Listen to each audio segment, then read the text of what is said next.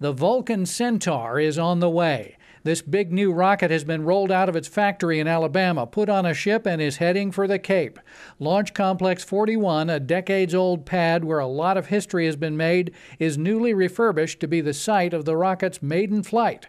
And maiden flights are pretty rare. It's just not often you see a rocket that's never flown before. ULA, the company that built this new rocket, is also the builder of the familiar Atlas rocket, an old workhorse. Very old, in fact.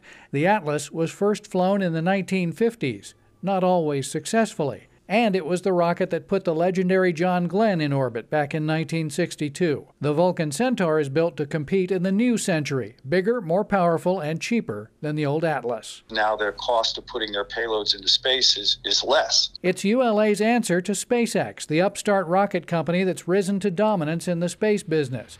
Cheaper, more powerful rockets can launch more often, bring in more launch business, and create more jobs. The Vulcan Centaur has already won government contracts to launch military satellites cheaper. That's a good thing for uh, national security, for exploration, and for the taxpayers. The new rocket will have reusable engines. They won't come back and land like SpaceX, but will parachute back and be plucked out of midair by a helicopter. The first launch of the Vulcan Centaur is scheduled to send a privately built robotic lander to the moon late this year. Dan Billow, WESH 2 News.